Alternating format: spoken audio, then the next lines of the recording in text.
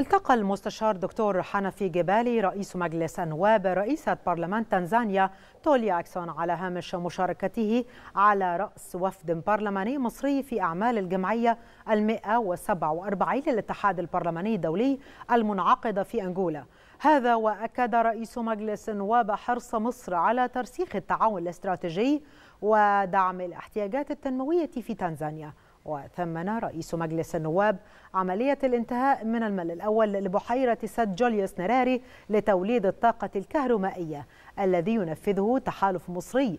من جانبها أكدت رئيسة برلمان تنزانيا على دور مصر الفاعل والرائد من أجل إرساء السلام والاستقرار على الصعيدين الإقليمي والعالمي.